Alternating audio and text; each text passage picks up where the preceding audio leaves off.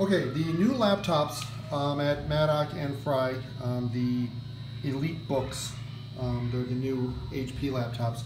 They have the ability to enable and disable this uh, touchpad mouse. So right now, if I go on the mouse and there's my mouse pointer, the mouse is working fine.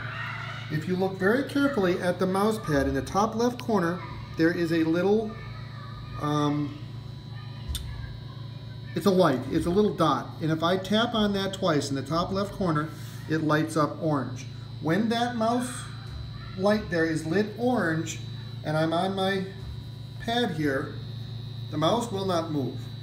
The idea behind that is that that is so that you can disable this touchpad if you're going to plug in an external mouse or something. Um, but if you are messing around on your keyboard and you accidentally you know bump your hand on this or something, this light will turn on. If this light is on, that means your mouse is disabled.